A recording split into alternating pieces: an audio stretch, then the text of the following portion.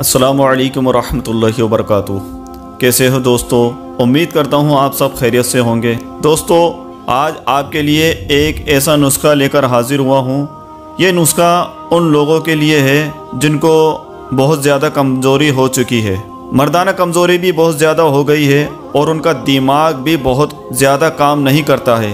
भूलने की बीमारी लग गई है। इसके अलावा शरीर की ताकत कम हो गई है। शरीर में खाया पिया बिल्कुल भी अंग नहीं लगता।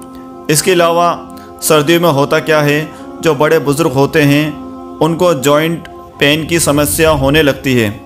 कमर में दर्द, घुटनों में दर्द, कंधों में दर्द, बुज़ुर्गों में ही नहीं बल्कि अगर किसी में भी है तो इसमें भी ये काम करने लगेगा। साथ ही साथ सुस्ती अगर आपको रहती है, थकन रहती है, पूरा शरीर आपका थका थका रहता है। अगर काम कर लिया तो मानो ऐसा महसूस होता है, पता नहीं बस अभी चक्कर आने लग जाएँगे। बस अभी गिर जाऊँगा।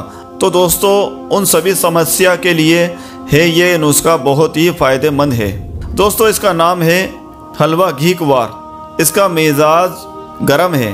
ये नुस्खा आपको बना बनाया मिल जाएगा। जो मैंने अभी आपको बताया है, जैसे कि जैसे कि सर्दी लगना, दिल दिमाग काम नहीं करना, जिस्मानी कमज़ोरी, मर्दाना ताकत जॉइंट पेन इसके अलावा इसमें घी डाला हुआ होता है। गाय का तो ये कब्ज़ में भी काम करता है।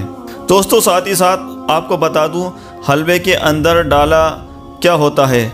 टोटल इसमें 18 से 20 चीज़ें डाली जाती है। तो आपको मोटी मोटी चीज़ें बता देता हूँ। घी कुवार दोस्तों एलोवेरा को बोला जाता है। तो इसके अंदर एलोवेरा का गूदा डाला जाता है। इसके अलावा आशुगंधा, इलायची, खुर्द हल्दी, कालम खाना, सालन, मिश्री, दालचीनी सतावर देसी घी, खजूर, बादाम तो ये मेन मेन इसमें डाला होता है। तो ये दोस्तों, हमारी सेहत के लिए बहुत अच्छा होता है।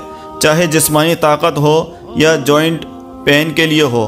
या फिर दिल दिमाग की कमज़ोरी के लिए हो। अब इसको कैसे इस्तेमाल करना है, ये बस समझ लीजिए। आप इसको इसको पाँच से सात ग्राम सुबह शाम ले सकते हैं। अगर आपको ज़्यादा कमज़ोरी हो रही है, इसको आप खाली पेट ले लीजिए, चाहे तो आप दूध से ले सकते हैं या पानी से ले सकते हैं। और शाम को खाना खाने के बाद एक या डेढ़ घंटे बाद लेना है। दोस्तों, आपको ये ऑनलाइन भी मिल जाएगा। आप ये ऑनलाइन भी खरीद सकते हैं। ऑनलाइन ख़रीदने के लिए आपको इसका लिंक नीचे मिल जाएगा। तो देर किस बात की? ऑर्डर कीजिए और जल्दी फ़ायदा हासिल कीजिए। तो दोस्तों, ये जानकारी कैसी लगी? ज़रूर कमेंट्स करके बताइए। और दूसरे भाइयों को भी फ़ायदा पहुंचाना चाहते हो तो सवाब की नीयत से खूब शेयर कीजिए। दोस्तों, उसको ऑल पे क्लिक कर दीजिए और लाइक भी कर दीजिए वीडियो। असलकम वरहमल वर्का